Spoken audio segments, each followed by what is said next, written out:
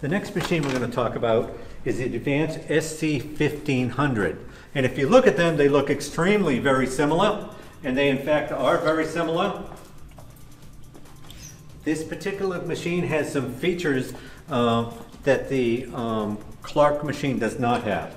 Most um, importantly is something called EcoFlex.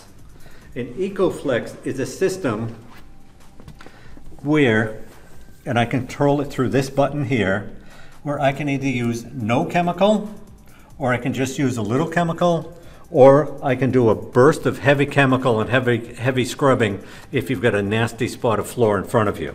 Very unique, very environmental machine.